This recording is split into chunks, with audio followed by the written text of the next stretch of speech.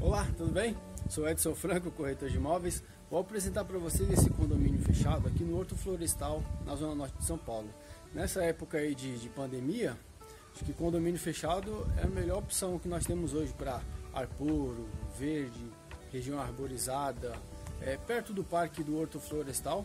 É, esse condomínio que eu vou apresentar para vocês, que vocês vão acompanhar no vídeo, ele tem 110 metros quadrados de área construída, três dormitórios, uma suíte, tem três banheiros, quintal, churrasqueira.